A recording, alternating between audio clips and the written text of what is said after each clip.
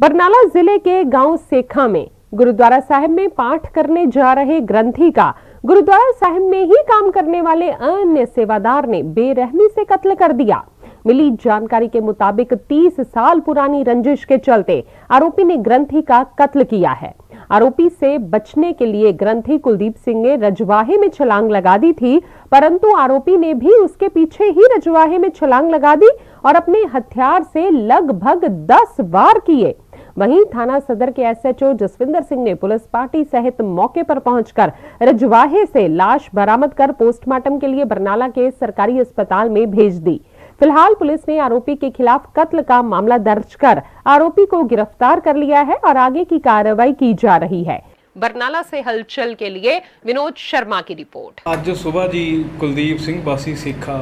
उम्र करीब छपंजा साल ਜਿਸ ਦਾ ਕਸਲ ਉਸਦੇ ਹੀ ਗਵਾਂਢੀ ਤਲਵਾਰਾ ਸਿੰਘ ਨੇ ਜਦੋਂ ਕੁਲਦੀਪ ਸਿੰਘ ਅੱਜ ਸਵੇਰੇ ਆਪਣੀ ਰੋਲ ਲਾਉਣ ਲਈ ਗੁਰਦੁਆਰਾ ਸਾਹਿਬ ਜਾ ਰਿਹਾ ਸੀ ਤਾਂ ਗੁਰਦੁਆਰਾ ਸਾਹਿਬ ਦੇ ਗੇਟ ਤੇ ਘੇਰ ਕੇ ਤਲਵਾਰਾ ਸਿੰਘ ਨੇ ਆਪਣੇ ਬਰਸ਼ੇ ਨਾਲ ਉੱਤੇ ਬਾਰ ਕਰਕੇ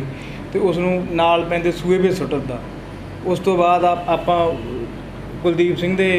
ਲੜਕੇ ਦੇ ਬਿਆਨ ਤੇ ਐਫ ਆਈ ਆਰ ਰਜਿਸਟਰ ਕਰੀ ਤੇ ਕੁਲਦੀਪ ਸਿੰਘ ਦੀ ਜੋ ਡੈੱਡ ਬੋਡੀ ਉਹ ਵੀ ਆਪਾਂ ਨੂੰ ਹੰਡਾਇਆ ਕੋਲ ਬਰਾਮਦ ਹੋ ਗਈ ਆ ਜਿਹਦਾ ਹੁਣ ਅਸੀਂ ਪੋਸਟਮਾਰਟਮ ਕਰ ਰਹੇ ਆ ਤੇ ਕੁਲਦੀਪ ਸਿੰਘ ਦੇ ਲੜਕੇ ਬਰਿੰਦਰ ਸਿੰਘ ਦੇ ਬਿਆਨ ਤੇ ਅਸੀਂ ਐਫ ਆਈ ਆਰ ਰਜਿਸਟਰ ਕਰ ਲਈਏ F I R number 85 under section 300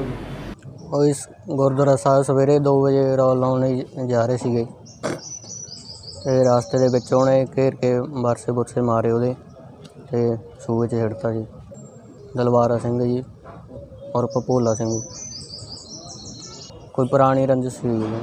ਦੱਸਿਆ ਯਾਰ ਮੈਨੂੰ ਉਹਨੇ ਸਾਫ ਚਾਹੀਦਾ ਜੀ ਉਹਨੂੰ ਵੱਧ ਤੋਂ ਵੱਧ ਸਜ਼ਾ ਹੋਣੀ ਚਾਹੀਦੀ ਹੈਗੀ ਇਹ ਹੰਡਿਆਏ ਤੋਂ ਬਰਾਮਦ ਹੋਈ ਹੈ ਜੀ ਸੂਬੇ ਦੇ ਵਿੱਚੋਂ